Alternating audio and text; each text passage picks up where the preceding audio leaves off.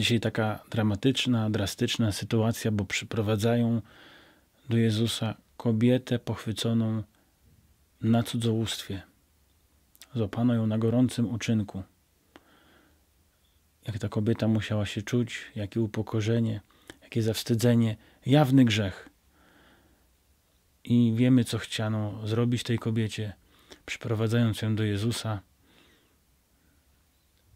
Jezus spotyka się z tymi, których grzech jest niejawny. Są to osoby, które głoszą Słowo Boże,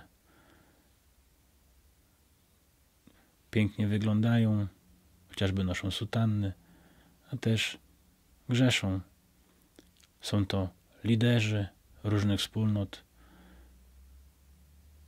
Chodzi o to, że grzech tej kobiety jest jawny, a nasze grzechy są niejawne, ukryte. Dlatego Pan Jezus zaprasza każdego z nas do wielkiej pokory, czyli do miłości